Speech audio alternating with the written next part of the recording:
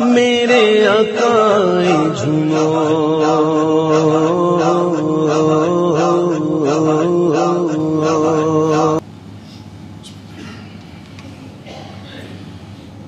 السلام علیکم ورحمۃ اللہ وبرکاتہ۔ الحمد للہ رب العالمین۔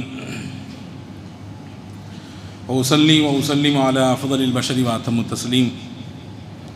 وعلى آله وأصحابه أجمعين.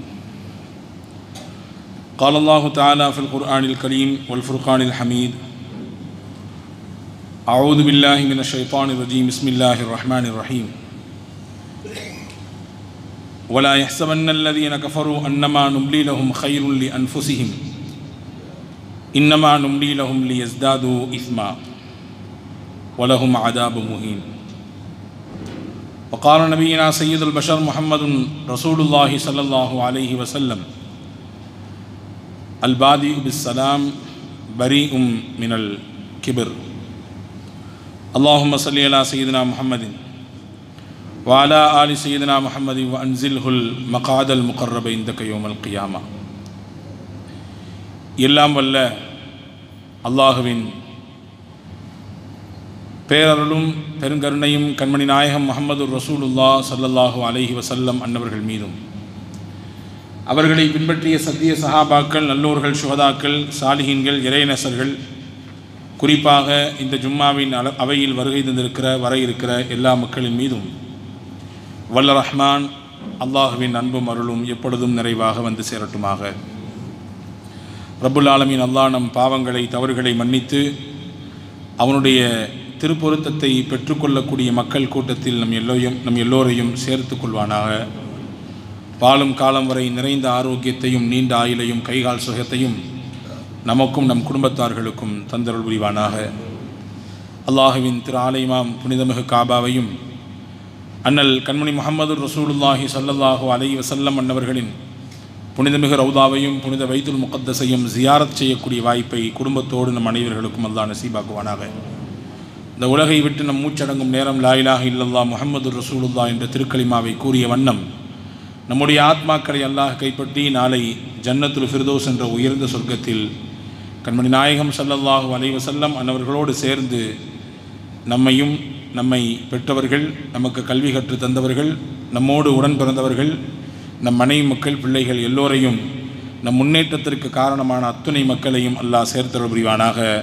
ஆமீன். பிஹக்கி செய்தனா முகமதின் வாலிஹி வாசாபி அஜ்மாயின். கண்ணியத்திற்குரிய சகோதரர்களே அன்பிற்கும் இறைநேசத்துக்கும் உரித்தான அல்லாஹுவின் நல்லடியார்களே புத்தாண்டின் முதல் ஜும்மாவில் நாம் இருக்கிறோம். ஆயிரத்தி நானூற்றி நாற்பத்தி ஒன்றாவது வருடம் முஹர்ரம் மாதத்தின் முதல் ஜும்மா.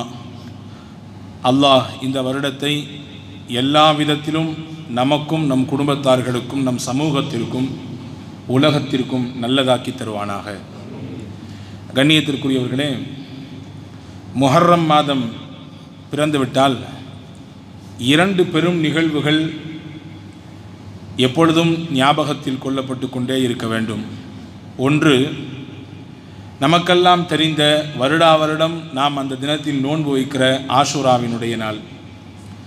ஹசரத் சையதுனா மூசா அலி இஸ்லாம் அவர்களை மிகப்பெரிய கொடியவனாக இருந்த ஃபிரோனிடத்திலிருந்து அல்லாஹ் பாதுகாத்து அவர்களையும் அவர்கள் ஏற்றுக்கொண்ட மக்களையும் பாதுகாத்து உலகத்தில் அக்கிரமத்திற்கும் அழுச்சாட்டியங்களுக்கும் மிகப்பெரிய அநியாயத்திற்கும் முற்றுப்புள்ளி வைத்து ஃபிரௌனை அல்லாஹ் இல்லாமல் ஆக்கினான். இது ஒரு புறம். இன்னொரு புறம் அருமை நாயகம் சல்லல்லாஹு அலை வசல்லம் அன்னவர்களின் மகள் வைத்து பேரன் ஹசரத் ஹுசைன் ரதி அல்லாஹு தாலா அன்பு அவர்கள் நீதிக்காக போராடி இறுதியில் தன் உயிரை அல்லாஹுவின் பாதையில் கொடுத்து கர்பலா என்று சொல்லக்கூடிய இஸ்லாமிய வரலாற்றில் அழுகையும் கண்ணீரும் சேர்ந்து நிற்கக்கூடிய அந்த காட்சிகள் ஹுசைன் ரதி அல்லாஹு தாலா அன்ஹு அவர்களுடைய ஷஹாதத் வீர மரணம். அங்கே நடந்த நயவஞ்சகர்களின் சில சேட்டைகள் இதுவும் நம்முடைய கவனத்தில் வந்து போய் கொண்டிருக்கிறது. ஆக மொத்தத்தில் இந்த மாதம் முஸ்லீம் உம்மத்திற்கு கற்றுத்தருகிற நிறைய பாடங்கள் இருக்கிறது. நிறைய பாடங்கள். அநீதிக்கு எதிராக ஒரு முஸ்லீம் குரல் கொடுத்து கொண்டே இருக்க வேண்டும் என்பதை மூசா அலி இஸ்லாமின் வரலாறும் சரி ஹுசைன் ரதி அல்லாஹு தாலா அன்ஹு அவர்களுடைய ஷஹாதத்தும் வீர மரணமும் சரி நமக்கு கற்றுத்தருகிறது ஒரு முஸ்லீம் போராட்ட குணமுள்ளவனாக இருக்க வேண்டும். நடப்பது நடக்க நடந்துட்டு போகட்டும். யாருக்கோ எதுவோ நடந்தால் நமக்கே நமக்கென்ன என்று ஓரம் ஒதுங்கி போய்விட முடியாது. அப்படி ஒதுங்கி போபவர் சரியான இஸ்லாமிய வட்டத்திற்குள் இன்னும் நிலை பெறவில்லை என்பதையும் இஸ்லாம் சுட்டிக்காட்டுகிறது. காரணம் மூசா அலை இஸ்லாம் எப்படி அவர்களை ஒரு நபியாக நாம் பார்க்கிறோமோ இன்னொரு புறத்தில் அவர்கள் மிகப்பெரிய போராட்டக்காரர். ஃபிரௌன் என்ற தனி மனிதனுக்கு எதிராக ஒரு சர்வாதிகார ஆட்சிக்கு எதிராக மூசா அலி இஸ்லாம் அவர்கள் போராடினார்கள். அவர்கள் அங்கே போனதற்கு மிக முக்கியமான காரணமே அடைபட்டு கிடந்த கைதிகளாய் பல்லாண்டு காலங்கள் ஃபிரௌனிடத்திலே அடிமைகளாக கொத்தடிமைகளாக பல்வேறு சிரமங்களுக்கு ஆட்பட்டு கிடந்த பனு இசரவேடர்களை மீட்டெடுக்க வேண்டும் என்பதும் அவர்கள் அங்கே சென்ற நோக்கங்களில் மிக முக்கியமானது. அதே போன்றுதான் ஹுசைன் ரதி அல்லாஹு அவர்கள் ஹிலாஃபத்தை தாண்டி ஹலீஃபாக்களின் ஆட்சிக்கு பிறகு மன்னராட்சி தொடர்ந்தால் பல்வேறு குழப்பங்களும் மக்களுக்கு அநியாயங்களும் ஏற்படும் என்பதற்காக வேண்டி போராடி கடைசியில் தன்னுடைய இன்னுயிரை அர்ப்பணித்தார்கள். ஆக மொத்தம் இந்த வரலாறுகள் அநீதிக்கு எதிராக ஒரு முஸ்லிம் எப்பொழுதும் குரல் கொடுத்து கொண்டே இருக்க வேண்டும் என்பதை இந்த உலகத்திற்கு சொல்லிக் கொண்டே இருக்கிறது. இன்னொரு பாடத்தை முஸ்லிம் உம்மத் மட்டுமல்ல ஒட்டுமொத்த உலகமும் இந்த முஹர்ரத்திலிருந்து பாடம் எடுக்க வேண்டும். அது ஒன்று இருக்கிறது. எல்லாவற்றுக்கும் அழிவை தேடி தந்தது அது. உலகத்தில் யாரெல்லாம் தலைக்கணத்தோடு அகங்காரத்தோடு ஆணவத்தோடு எனக்கு அதிகாரம் இருக்கிறது என்னிடத்தில் ஆட்சி இருக்கிறது நான் கைகாட்டினால் எதுவும் நடக்கும். என்னுடைய உத்தரவிற்கு கீழே தான் இந்த நதிகளும் ஆறுகளும் ஓடுகிறது என்று கொக்கரித்து கொண்டிருந்தவர்கள் எல்லாம் கடைசியில் அவர்களின் முடிவு உலகமே சீ என்று துப்பும் அளவிற்கு மாறிப்போனது என்ற ஒரு செய்தியையும் இந்த முகர்ணம் நமக்கு பாடமாக கற்றுத்தருகிறது. நீங்கள் ஆரம்பத்திலிருந்து வாருங்கள். இபிலீஸில் தொடங்கி உலகத்தில் வந்த அக்கிரமக்காரர்கள் எல்லாரிடத்திலும் இருந்த ஒரு விஷயம் தலைக்கணம். அகம்பாவம் ஆணவம் இது எதுவுமே மனித வாழ்க்கைக்கு பொருந்தாதது. மனிதன் எக்காலத்திலும் இதை தொட்டுவிடவே கூடாது. இபிலீஸ் ஏன் கியாமத்து வரை லயீனாக மாறினான்? ஏன் இபிலீஸை இறைவன் சபித்து கொண்டே இருக்கிறான்? கடைசி காலம் உலக அழிவு நாள் வரை என்னுடைய சாபம் உன் மீது ஏற்படட்டும் என்று அல்லாஹுவும் சொன்னான். உலகத்தில் இருக்கிற ஒவ்வொரு முஸ்லீமும் திருக்குறானை தொடும் பொழுதும் சரி நல்ல காரியங்களை செய்யும் பொழுதும் சரி இறைவனிடத்தில் அந்த செய்தானிலிருந்து பாதுகாப்பு தேடுங்கள் என்று திருக்குரானும் திருநபி ஸல்லல்லாஹு அலைஹி வசல்லம் அவர்களும் கற்றுத் தருகிறார்கள். என்ன காரணம்? அவனிடத்தில் இருந்த ஒரு மிக மிக கெட்ட குணம் தலைக்கணம் அகம்பாவம். ஆதம் அலி இஸ்லாமை படைத்தவுடன் அல்லாஹ் சொன்னான் எல்லா மலக்குகளுக்கும் சஜிதா செய்யுங்கள். நாம் கேட்டு கேட்டு பழகிப்போன வரலாறாக இருந்தாலும் இன்றைக்கு தேவையான வரலாறு. எல்லோரும் செய்தார்கள் இபிலிஸ் மட்டும் அபா மறுத்தான் அல்லாஹ் அங்கே அப்படி முடிக்கவில்லை. மறுத்தான் என்பதோடு அல்லாஹ் முடிக்கவில்லை. வஸ்தக்பர அகங்கா அகங்காரத்தோடு பேசினான். அவன் பெருமைப்பட்டான் என்று அல்லாஹ் சொல்கிறான். இந்த பெருமைதான் ஒரு மனிதனுடைய வீழ்ச்சியின் முதல் அடிக்கல். பெருமையின் பக்கம் அகம்பாவத்தின் பக்கம் ஆவன் ஆணவத்தின் பக்கம் எவன் முன்னெடுக்க ஆரம்பித்து விட்டானோ? அந்த பாதையில் யார் தன் காலை எடுத்து வைக்க துணிந்து விட்டானோ?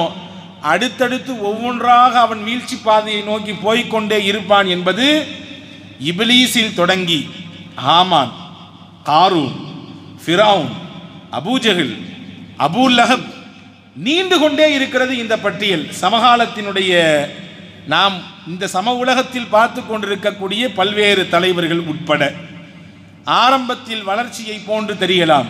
இறுதியில் அவர்களின் முடிவு உலகத்திற்கே பாடமாய் ஆகும் என்பது இந்த மொஹர்ரம் மாதம் நமக்கு கற்றுத்தருகிற பாடம். ஃபிரௌன் சொன்னான் ஹாமான் இடத்திலே ஹாமான் என்பவர் ஃபிரௌனுக்கு மந்திரியாக இருந்தவர். யா ஹாமான் நுபுலி சரஹல்ல அல்லி அபுலகல் அஸ்பாப். எந்த இந்த மூசா கதைத்து கொண்டே இருக்கிறார்? எனக்கு ரப்பு இருக்கிறார் ரப்பு இருக்கிறார் என்று ஒரு பெரிய ஏணி செய்யுங்கள். அந்த ஏணிக்கு மேலே ஏறி வானத்திற்கு முகட்டுக்குள்ளே குதித்து மூசாவின் ரப்பு இருக்காரா இல்லையா? என்று நான் பார்த்து விட்டு வருகிறேன். என்ன பொருள்? வானத்தை தொடும் அளவிற்கு என் ஆட்சி நீண்டிருக்கிறது. வானலாவிய அழகின் அளவிலே என்னுடைய ஆட்சியின் கொடி பறந்து கொண்டிருக்கிறது. வேண்டுமானால் ஒரு பெரிய ஏணி செய்யுங்கள். ஏணியில் போய் ஏறி குதித்து மூசாவின் ரப்பிடத்திலே நான் பேசிவிட்டு வருகிறேன் என்று ஆணவத்தோடு பேசினான். நம்ரூத். அதரத் இப்ராஹிம் அலி இஸ்லாமுக்கு எதிராக என்ன சொன்னான்? இப்ராஹிம் அலி இஸ்லாம் ஏக இறைவன் ஒருவன் அவனே அல்லாஹ். அவனுக்கே எல்லா சக்தியும் இருக்கிறது. அவன் நாடியவர்களை உலகத்தில் படைப்பான். நாடியவர்களை உலகத்தை விட்டு அனுப்புவான். சூரியனை எங்கிருந்து உதிக்க வேண்டும் என்றும் அதை எந்த இடத்தில் மறைய வைக்க வேண்டும் என்றும் எல்லா அதிகாரமும் ரப்பு கையில் இருக்கிறது என்று இப்ராஹிம் அலி இஸ்லாம் சொன்ன பொழுது நம்ருத் சொன்னான் அனவுஹி ஓமி நானும் தான் படைப்பேன் நானும் தான் கொல்லுவேன். என்ன உன் ரப்புக்கும் எனக்கும் என்ன வித்தியாசம்? ஒன்றும் இல்லை உன் ரப்பும் படைக்கிறான் என்றால் நானும் படைப்பேன். உன் ரப்பும் உலகத்தை விட்டு ஒரு சிலரை அனுப்புகிறான் என்றால் நானும் மௌத்தாக்குவேன். எனக்கும் இருக்கிறது என்று நம்ரூது சொன்னான். இறுதியில் நம்ரூதின் முடிவும் உலகத்திற்கு பாடமாய் போனது. காரூன் மிகப்பெரிய அதிகாரம் கொடுக்கப்பட்டவன். உலகத்தில் அவனுக்குறி அவனுக்கு கொடுக்கப்பட்ட செல்வத்தை போன்று இதுநாள் வரை யாருக்கும் தரப்படவில்லை என்றே குரான் சொல்லுகிறது. அவ்வளவு பெரிய செல்வத்திற்கு அதிபதியாக இருந்தவன் அவனை பார்த்து சொன்னார்கள் "வப்தகி அல்லாஹு தாரல் ஆகிரா. அல்லாஹ் உனக்கு வழங்கிய செல்வத்திலிருந்து நிரந்தரமான வீட்டை நீ தேடிக்கொள். தன்ச துன்யா. உனக்கு உரிய பங்கை இந்த உலகத்திலே நீ மறந்து விடாதே வஹ்சின் கமா அஹ்சன் அல்லாஹு இலை அல்லாஹ் உனக்கு உபகாரம் செய்தது போன்று நீயும் பிறருக்கு உபகாரம் செய்யப்பா என்று காரூனிடத்திலே சொன்ன பொழுது காரூன் அகங்க அகம்பாவத்தோடு சொன்னான் தலைக்கணத்தோடு சொன்னான் இன்னமா ஊத்தி துகு அலா அல்மின் இந்தி. இதோ சம்பாதித்து நான் வைத்திருக்கிறேனே. இவ்வளோ பெரிய சொத்து எல்லாம் என்ன இறைவனா தந்தான் எனக்கு? எல்லாம் என் உழைப்பு. எல்லாம் என்னுடைய முயற்சி என் திறமை. அதனால் கிடைத்த பேறுகள் இதுவெல்லாம். அரணா அதனால் கிடைத்த செல்வங்கள் இதுவெல்லாம். எனவே நான் யாருக்கும் கொடுக்க முடியாது. நான் இப்படித்தான் வே- வீணாக செலவழிப்பேன். நான் இப்படித்தான் இருப்பேன் என்ற அகம்பாவத்தோடு பேசினான். ஆரூரின் முடிவும் இறுதியிலே மிகப்பெரிய பாடமாய் மாறியது. அருமை நாயகம் சல்லல்லாஹு வலைவசல்லம் உலகத்திலே சத்திய இஸ்லாத்தை எடுத்து வைக்கக்கூடிய முதல் நிமிடம். ஜபலே அபே அபி குபைஸிற்கு மேலே ஏறி தன் சொந்தங்களை எல்லாம் அழைத்து நபிகள் நாயகம் சல்லல்லாஹு வலைவசல்லம் செல்லம் நான் யார்? என்னை அனுப்பிவன் அனுப்பியவன் யார்? அவன்தான் அல்லாஹ். அவன் ஒருவன்தான் உலகத்திலே வணங்குவதற்கு தகுதியானவன். அவனன்றி உலகத்தில் வணங்கப்படுவதற்கு எதற்கும் உரிமை இல்லை சக்தி இல்லை. அவன் மட்டுமே மஅபூத் வணங்கப்படுவதற்கு தகுதியானவன். நீங்கள் எல்லாம் அவனின் பக்கம் மீளுபவர்கள் என்ற ஏகத்துவத்தை எடுத்து வைக்கும் நேரம். அபு லஹப் என்ற கொடியவன் மண்ணை தூக்கி போட்டு சொன்னான். இதற்கு தான் எங்களை கூப்பிட்டாயா? உனக்கு நாசம் ஏற்படட்டும். நீ இல்லாமல் போகட்டும். உன் முகம் மண்ணை கவ்வட்டும் என்று சரமாரியாக வார்த்தைகளால் நபிகளின் உள்ளத்தை காயப்படுத்தினான். அவன் பேசிய பேச்சு வெறுமன்ன வந்த பேச்சல்ல ஆணவத்தின் வெளிப்பாடாக வந்த பேச்சு.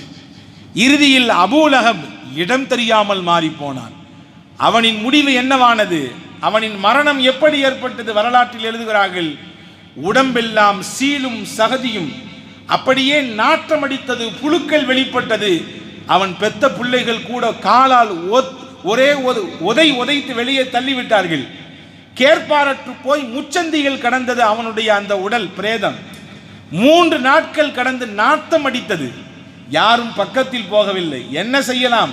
விட்டால் ஊருக்கே தொற்று நோய் பற்றி கொள்ளும். என்ன செய்யலாம்? என்று முடிவெடுத்தார்கள். ஒரு பெரும் குழி தோண்டி தூரத்திலிருந்து ஒரு பெரிய கம்பை வைத்து அவன் உடம்பில் குத்தி அந்த குழிக்குள் தள்ளிவிட்டு மண்ணை புதைத்து மூடினார்கள் என்று அபூலகவின் வரலாறு முடிகிறது. இப்ப ஆணவத்தில் வெளிப்பட்ட வார்த்தைகள் கடைசியில் முடிவு மிகப்பெரிய வினோதமாக வினோதமாக மட்டுமல்ல உலகத்திற்கு மிகப்பெரிய பாடமாகவும் மாறியிருக்கிறது. அந்த வகையில்தான் ஃபிராவுனின் முடிவும் இந்த உம்மத்திற்கு கியாமத்து நாள் வரை பேசப்பட்டு கொண்டே இருக்க வேண்டும் என்பதற்காகத்தான் இந்த மொஹர்ரம் மாதத்திலே குறிப்பாக அந்த ஒன்பது பத்து என்று இருக்கக்கூடிய அந்த ஆஷூராவினுடைய நாட்களிலே அல்லாஹ் ஜல்ல சாணகுவத்தாலா ஒட்டுமொத்த முஸ்லீம் உம்மத்தையும் நாயகத்தின் வழிகாட்டுதலின் பிரகாரம் நோன்பு நோத்து அந்த கொடியவனிடத்திலிருந்து மூசா அலி இஸ்லாமை அல்லாஹ் பாதுகாத்ததினால் அல்லாஹ் இது போன்ற மிகப்பெரிய கொடுங்கோல் ஆட்சியிலிருந்து ஒட்டுமொத்த முஸ்லீம் உம்மத்தையும் அப்பப்பம் பாதுகாக்க வேண்டும் என்ற எண்ணத்தில் தான் நோன்பு நோக்க பணித்தார்கள் என்பதை நாம் கவனத்தில் கொள்ள வேண்டும். அன்பிற்குரியவர்களே அகம்பாவும் ஆணவமும் மனிதனின் தலையில் எப்பொழுதும் ஏறிவிடவே கூடாது. படிப்பில் நாம் உயரலாம். பொருளாதாரத்தில் எங்கோ போகலாம். பதவி பட்டத்தில் நம்மை உலகமே தலையில் தூக்கி வைத்துக் கொண்டு ஆடலாம். நம்மிடத்தில் இருக்கிற திறமைகள் உலகத்தை விஞ்சும் அளவிற்கு இருக்கலாம். எல்லாம் இருக்கும். எல்லாம் ஏற ஏற மனிதனுக்கு தலையில் பணிவும் ஏறிக்கொண்டே இருக்க வேண்டும்.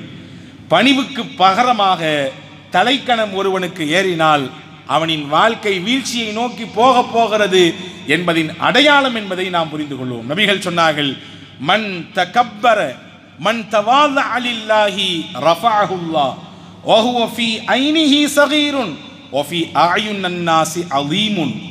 யார் இறைவனுக்காக வேண்டி பணிந்து போகிறார்களோ அவர் தன்னளவில் சிறியவராக இருந்தாலும் மக்களின் உள்ளங்களில் உயர்ந்தவராக அல்லாஹ் ஆக்கி விடுவான்.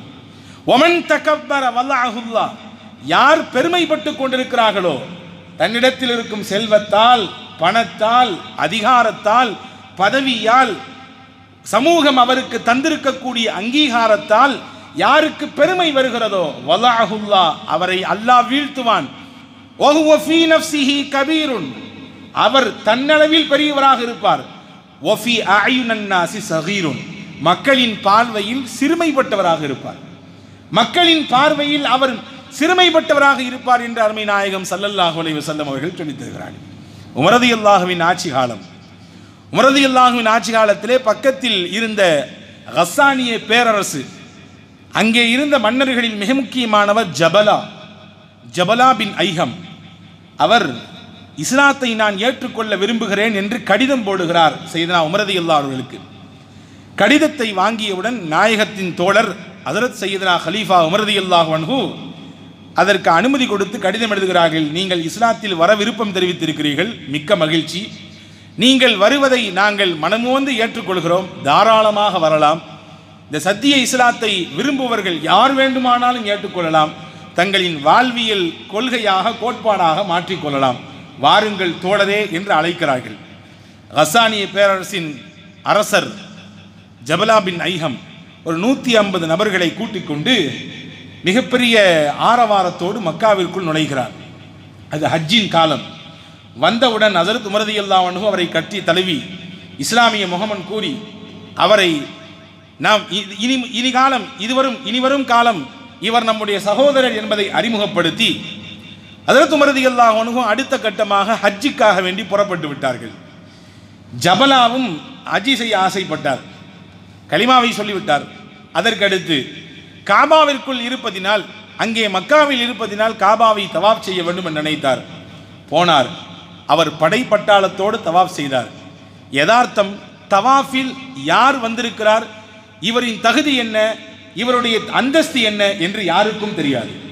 எல்லோரும் ஒரே ஆடையில் இருப்பார்கள். எல்லோரும் ஒரே முழக்கத்தோடு இருப்பார்கள். இவர் இந்த நாட்டின் அரசரா? இந்த நாட்டின் கவர்னரா? இந்த பகுதியில் மிகப்பெரிய செல்வந்தரா என்ற எந்த அடையாளமும் அங்கே தெரியாது வெளிப்படுத்தவும் பட மாட்டாது காரணம் அங்கே இறைவனின் ஆலயத்திற்கு முன்னால் நாம் எல்லாம் அடிமை என்ற அந்தஸ்தில் இருக்கிறோம் இவர் சுத்தி கொண்டிருக்கிற பொழுது இவரின் ஆடையில் ஒரு வயதானவர் ஏழ்மையானவர் தெரியாமல் கால்பட்டு மிதித்து விடுகிறார். அரசராச்சே அகங்காரம் உடனேயே அந்த தலையில தொத்திக்கொண்டது ஓங்கி விட்டார் ஒரு அறை கன்னத்தில் பல்லெல்லாம் உடைந்து விட்டது. வயதானவர் ஏழை அடிக்கப்பட்டு விட்டார். இவர் போய் எங்கே நிற்பார்? அதற்கு ஹலீஃபாவிடத்திலே போய் நின்றார். ஹலீஃபாவிடத்தில் சொன்னார் வேண்டுமென்றே விதிக்கவில்லை தெரியாமல் கால்பட்டு மிதித்து விட்டேன். என்னை அடித்து பல்லை உடைத்து விட்டார். ஜபலாவை கூப்பிட்டார்கள் உமரது எல்லானு நடந்த விஷயம் உண்மையா? ஆமாம் உண்மை. ஏன் இப்படி செய்தீர்கள்? செய்யக்கூடாது. பின்ன என்ன அவர் என்னை மிதிக்கிறார்? தெரியாமல் தானே மிதித்தார். தெரியாமல் மிதித்தார் நான் அரசனாச்சே. நான் அரசன் ஒரு நாட்டுக்கே நான் அதிபதி. என்னை எப்படி மிதிக்கலாம்? என்று தலைக்கணத்தோடு பேசினார். நீ அரசன் மிகப்பெரிய அதிபதி உன் நாட்டுக்கே நீந்தான் ராஜா என்றெல்லாம் ஒருபுறம் இருந்தாலும். இன்னல் இஸ்லாம் கது சவ்வா பைனக்குமா? எப்பொழுது இஸ்லாத்திற்குள் நீ வந்து விட்டாயோ நீயும் இந்த ஃபக்கீரான ஏழையான மனிதரும் ஒன்றுதான். உங்களை சமன்படுத்தி விட்டது இஸ்லாம். எனவே இப்பொழுது இதற்கு பதில் ஒன்று இவரிடத்தில் மன்னிப்பு கேள். இல்லை என்றால் அவர் பதிலுக்கு பதில் உன்னை அடிப்பார். என்னை அடிப்பாரா? அவர் மக்காவில் என்னை என்னை மிதித்ததினால் தான் அவரை அடித்தேன். இந்த பகுதியில் என்னை மிதிக்காமல் வேற எங்காவது மிதித்திருந்தால் அவர் தலையை நான் எடுத்திருப்பேன் என்றான் ஜபலா ஆணவத்தோடு. இப்பொழுது இந்த ரெண்டில் ஒன்றை நீ செய்ய வேண்டும். இல்லை என்றால் என்னுடைய தண்டனையின் அளவு கூடும். நான் இவரிடத்தில் மன்னிப்பு கேட்டு அல்லது இவர் என்னை பகரம் செய்துதான் இந்த இஸ்லாத்தில் இருக்க வேண்டும் என்ற எந்த அவசியமும் எனக்கு இல்லை. நான் இஸ்லாத்தை விட்டு போக போகிறேன் என்று அவன் ஆணவத்தோடு சொன்னான். அன்றைய சமயத்தில் இஸ்லாத்தை ஏற்றுக்கொண்டு ஒருவர் வெளியே போய்விட்டால் இஸ்லாமிய நாடாக இருந்தால் அதற்கு தண்டனை என்னவென்றால் அவரை அனுப்பிவிட வேண்டும். அதுதான் தண்டனை. முர்த்தத்தாகிவிட்டால் இஸ்லாத்தை விட்டு வெளியே போய்விட்டால் அவரை அனுப்பிவிட வேண்டும். உன்னை நான் இல்லாமல் ஆக்குவேன் என்று உனக்கு எதிராக நான் வாழ ஏந்துவேன் என்றார் ஹசரத் உமரதி பயந்து போன ஜபலா சொன்னான் ஒரு நாள் டைம் கொடுங்க. நான் யோசித்து வந்து நாளைக்கு சொல்லுகிறேன் என்றான். ராத்திரியோடு ராத்திரியாக மூட்டை முடிச்சுகளை கட்டிக்கொண்டு ரோமுக்கு ஓடிவிட்டான். வரலாறு நீளுகிறது சுருக்கம் தருகிறேன். ரோமிலே போயிருந்து அந்த களியாட்டங்களிலே பங்கெடுத்து கடைசியில் அவன் நஸ்ரானியாகவே உலகத்தை விட்டு மரணித்தான் என்று வரலாறு முடிகிறது. இங்கே கவனப்படுத்த வேண்டும். ஒருவனுக்கு ஏற்பட்ட தலைக்கணம் ஒருவனுக்கு ஏற்பட்ட அகங்காரம் ஆணவம் ஹிதாயத் என்ற வாசலையே அவனுக்கு அடைக்கச் செய்தது. இஸ்லாம் என்ற புண்ணியமான கொள்கையை ஏற்றுக்கொண்ட பிறகும் அந்த ஆணவத்தால் அவன் மறுபடியும் தான் வந்த வழிக்கே போய்விட்டான். எங்கிருந்து வந்தானோ அதே இடத்திற்கு போய்விட்டான் என்றால் அன்பு சகோதரர்களே ஆணவம் மனிதனுக்கு ஆகவே ஆகாது. பெருமை மனிதனுக்கு ஆகவே ஆகாது. எனவேதான் அருமை நாயகம் சல்லல்லா அலி செல்லம் அவர்கள் சாதாரண மனிதராக அவர்கள் தன்னை வெளிப்படுத்திக் கொள்வார்கள். நாயகமும் சரி நாயக தோழர்களும் சரி அப்படித்தான் இருந்தார்கள். மருதியல்லானு பேசிட்டு இருந்தாங்க. ஒரு நாள் சஹாபாக்கள்கிட்ட எல்லாம் கூடி இருந்தார்கள் எல்லாத்தையும் ஒரு நாள் பள்ளிவாசல் கூப்பிட்டாங்க. இந்த மாதிரி ஒட்டுமொத்த மக்களும் வந்து அமர்ந்திருந்தார்கள். மெம்பரில் ஏறினாங்க. ஏறி திடீரென்று உங்களுக்கெல்லாம் நான் ஒரு விஷயம் சொல்ல போகிறேன்னு சொல்லி ஏறினாங்க. முக்கியமான தகவல் சொல்வதாக இருந்தால்தான் மெம்பரில் ஏறி பேசுவார்கள்.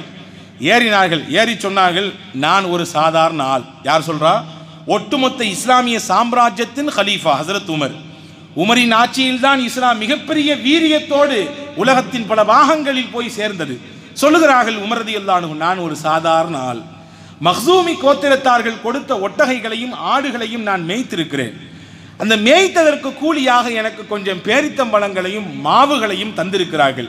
என்ற செய்தி சொல்லி கீழே இறங்கிட்டாங்க முடிஞ்சிருச்சு. ஏதோ முக்கியமான தகவல் பேசுவதாக அதிரத்து மறதிகளானு மெ மெம்பரில் ஏறினாங்க. பார்த்தா இந்த செய்தியை சொல்லிட்டு கீழே இறங்கிட்டாங்க. மக்களுக்கு ஒன்றுமே புரியல. அப்துல் ரஹ்மான் நௌஃபரதி எல்லா பக்கத்தில் போனாங்க. ஏதோ முக்கியமான தகவல்னு சொன்னீங்களே மேலே ஏறினீங்களே. இந்த மாதிரி நான் ஆடு மேய்ச்சேன் எனக்கு அவங்க கூலி இவ்வளோ கொடுத்தாங்க. நான் வந்து ஒரு க ஒரு கையளவு பேர்த்த மரத்தையும் மாவையும் வாங்கி வச்சுருந்தேன். அது என்னுடைய வாழ்க்கையில் மறக்க முடியாத நாட்கள் என்று சொல்லி கீழே இறங்குறீங்க என்ன? இதில் காரணம் என்ன? இதனுடைய பின்னணி என்ன? எதற்கு இதை சொல்ல வந்தீங்க? ஹசரத் உமரதி எல்லாம் சொன்னாங்க ஒரு செய்தி ஆட்சியாளருக்கு இருக்க வேண்டிய பண்பு அதற்கு உமரதி எல்லாம் சொன்னார்கள் என் உள்ளத்தின் ஓரத்தில் ஒரு சின்ன எண்ணம் எட்டி பார்த்தது. உமர் ஒரு நாள் ஆடு மேய்ச்சிட்டு இருந்தீங்க. இன்னைக்கு நீங்க தான் ஜனாதிபதி. ஒட்டுமொத்த இஸ்லாமிய சாம்ராஜ்யமே உங்கள் கைகளுக்கு கீழே தான் இருக்கிறது. உங்கள் உத்தரவை எப்பொழுது எதிர்பார்த்து கொண்டிருக்கிறது? நீங்கள் ஜனாதிபதி என்ற ஒரு மிகப்பெரிய எண்ணம் என் உள்ளத்தில் தோன்றியது. அந்த எண்ணத்தை அடிப்பதற்காக வேண்டி நான் ஏறி சொன்னேன். இப்பொழுது நான் ஜனாதிபதி. ஒரு காலத்தில் நான் ஆடு மேய்த்தவன். ஒரு ஒரு சின்ன குடும்பத்தில் பிறந்தவன்.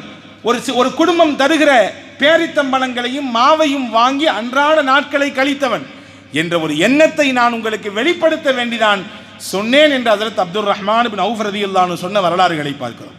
பெருமை இருக்கிறது எப்பொழுதும் மனிதனுக்கு ஆகவே ஆகாது. ஆணவம் இருக்கிறதே மனிதனை கொண்டு போய் ஒரு புதைக்குழியில் கொண்டு போய் தள்ளிவிடும். வரலாற்று சொல்லுகிறது நபிசல்லாஹு அலைஹி செல்லும் இடத்திலே பல்வேறு நபர்கள் வகி வகியை எழுதக்கூடிய பொறுப்பில் இருந்தார்கள். பலர்கள் எழுதினார்கள். அதிலே ஒருவர் புகாரில் இந்த ஹதீஸ் வருகிறது. ஒருவர் வகி எழுதினார். எழுதி கொண்டே இருந்தார். திடீரென்று அவருக்கு மனமாற்றம் ஏற்பட்டு போனது. இந்த பணியையும் விட்டுவிட்டார். தான் ஏற்றுக்கொண்ட கொள்கையான சத்திய இஸ்லாத்தையும் விட்டுவிட்டார். விட்டுட்டு போய் முன்னால் எங்கிருந்து வந்தாரோ அங்கே போய் அந்த மக்களோடு சேர்ந்து சொன்னார் முகம்மதுக்கு வகியும் வரல ஒன்றும் வரல. நான் எழுதி கொடுத்தது தான் முகம்மது பேசிட்டு இருக்கிறார். அவருக்கு என்ன தெரியும்? ஏதோ வானத்திலிருந்து அது வகி வருது அது வருது இது வருதுன்னு சொல்லி பினாத்திக்கிட்டு இருக்கிறார். நான் எழுதி கொடுப்பதை தான் முகம்மது பேசுகிறார் என்று ஆணவத்தோடு அகங்காரத்தோடு ஒரு விதமான குறைவு எண்ணத்தை ஏற்படுத்த வேண்டும் என்பதற்காக வேண்டி பேசினார். சல்லல்லா அலிசல்லம் சொன்னார்கள் இவர் பேச்சு சும்மா ஒன்றும் பேசவில்லை இவர் பெருமைப்பட்டு கொள்கிறார் இந்த பேச்சின் மூலமாக. சொன்னால் எப்படிங்க இருக்கும்? ஒருத்தர் பெரிய பிரபலமாக இருக்கிறாரு ஊரே போற்றுகிறது நாடே அவரை தூக்கி வைத்துக் கொள்கிறது அவருக்கு கற்றுக் கொடுத்த ஆசிரியர்கள் சில சமயங்களில் சொல்லிக் கொள்ளலாம். அந்த ஊர் பேசுத அவர் எல்லாம் என்கிட்ட படித்தவர் தான். நான் படித்து கொடுத்தேன். என்னிடத்தில் மண்டியிட்டு படித்தவர் நான் ஓதி கொடுத்தவர் அவர் என்றெல்லாம் பேசிக்கொள்ளலாம் இது ஒரு விதத்தில் பெருமையாக கூட இருக்கலாம். சில சமயங்களில் இது நன்மையை பெற்றுத்தரும். சில சமயங்களில் இதுவே வந்து நமக்கு தலைவலியாக விடிந்துவிடும். உமரதியல்லாஹு அணுகு அவர்களுடைய வரலாற்றில் தொட்டு பேசுகிற பொழுது இந்த செய்தியை எழுதுகிறார்கள். நபிசல்லாசன் சொன்னார்கள் என்னை பற்றி இப்படி பேசுகிறார் தப்பாக புனைந்து பேசுகிறார். லா தக்பலுகுல் அருது.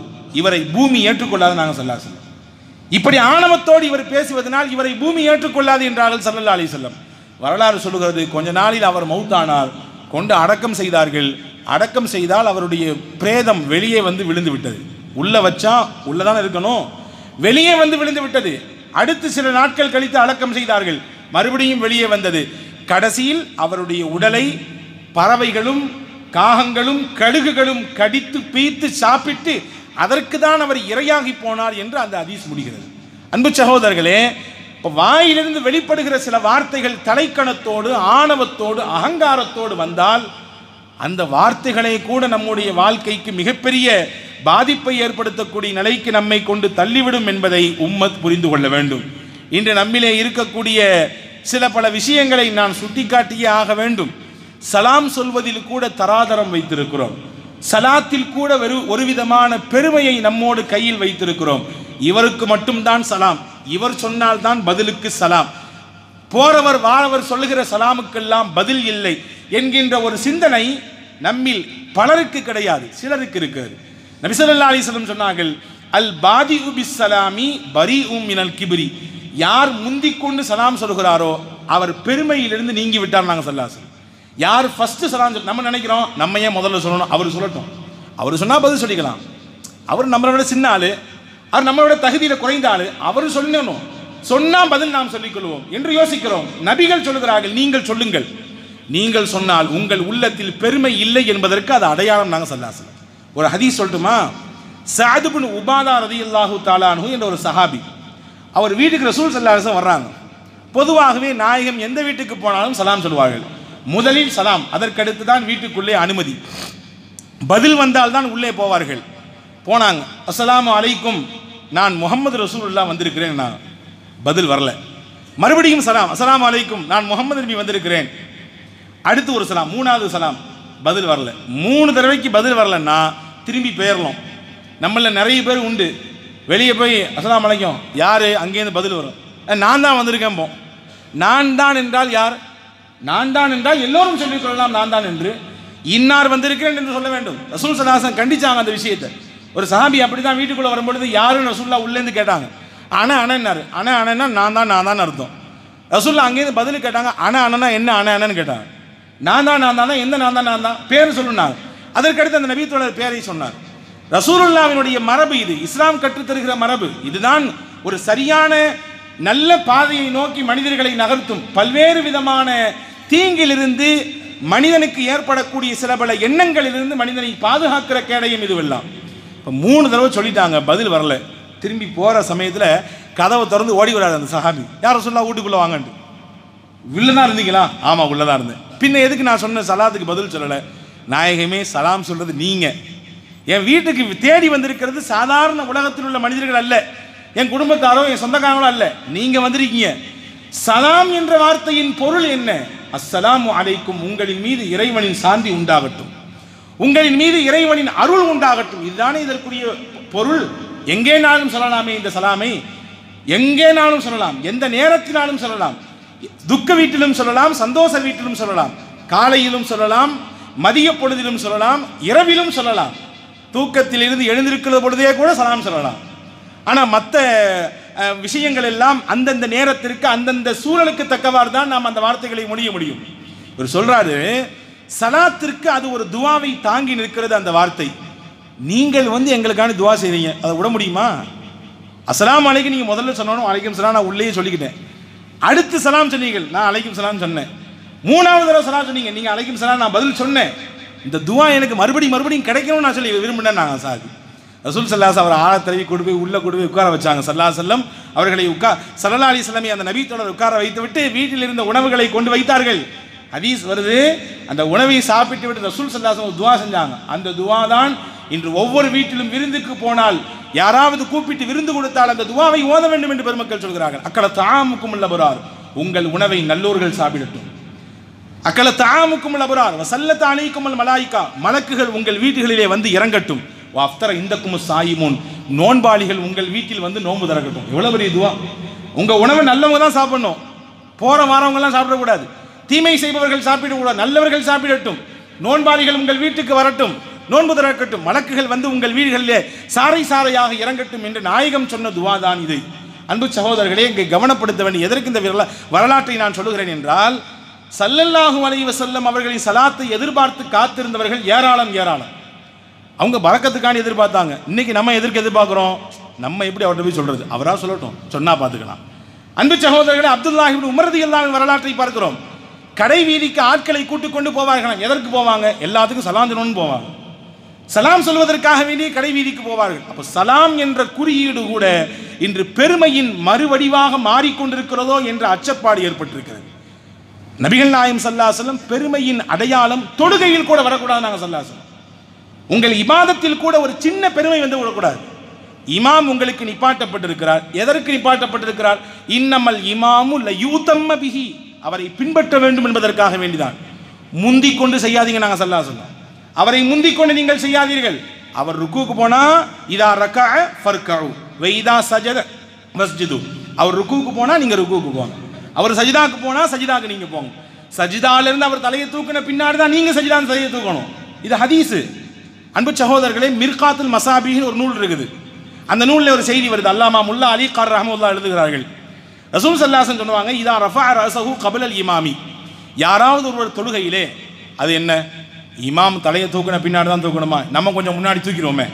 தூக்கி தான் பாப்போமே என்ன அது? அப்படின்னு சொல்லி அப்படி நினச்சிருந்தா அவர்களுக்கெல்லாம் இந்த ஹரீஸ் ஒரு பாடமாக நபிகள் சொல்கிறார்கள் யாராவது ஒருவர் இமாம் சஜிதாவிலின் தலையை தூக்குவதற்கு முன்னால் அவர் தலையை தூக்கினால் அவர் பயந்து கொள்ளட்டும் அவரின் தலை கழுதையின் தலையாக மாற்றப்படலாம். அவரின் உருவம் கழுதையின் உருவமாக மாற்றப்படலாம். ஹதீஸ் இது. புகாரில் வந்திருக்குது முஸ்லீமில் வந்திருக்கு இந்த ஹதீஸ். இந்த ஹதீஸை படித்த ஒரு அறிஞர் சாதாரண மனிதர் அல்ல.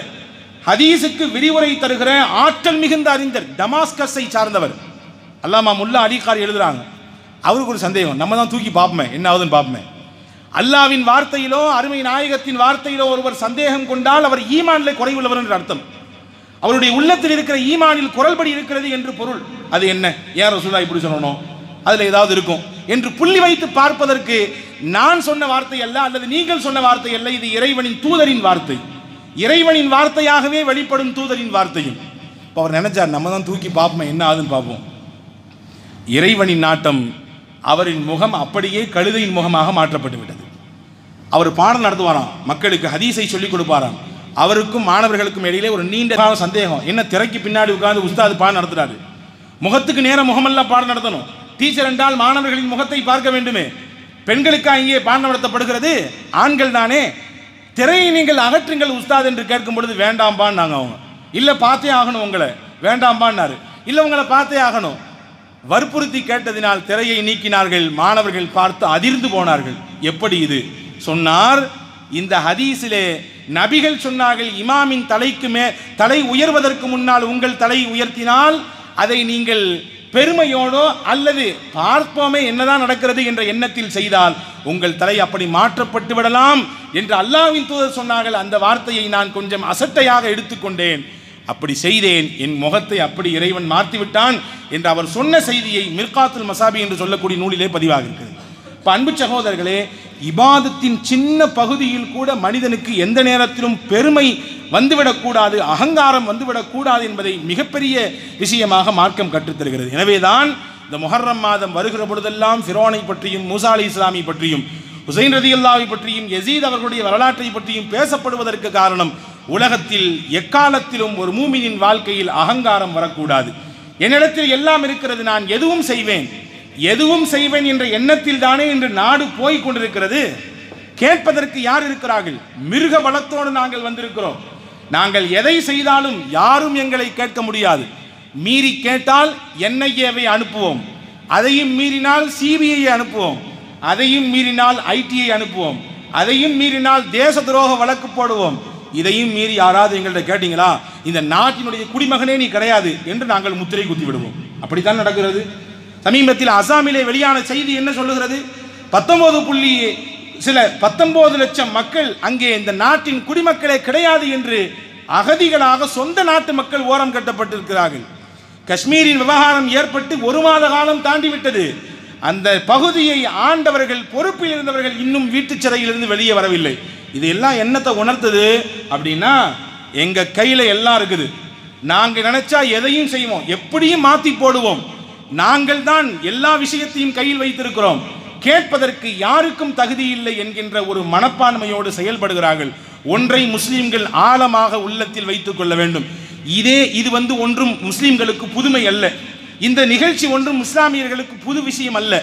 ஃபிரௌனும் இப்படித்தான் இருந்தான் ஹாமானும் இப்படித்தான் இருந்தான் காரூனும் இப்படித்தான் இருந்தான் நம்ரூதும் இப்படித்தான் இருந்தான்.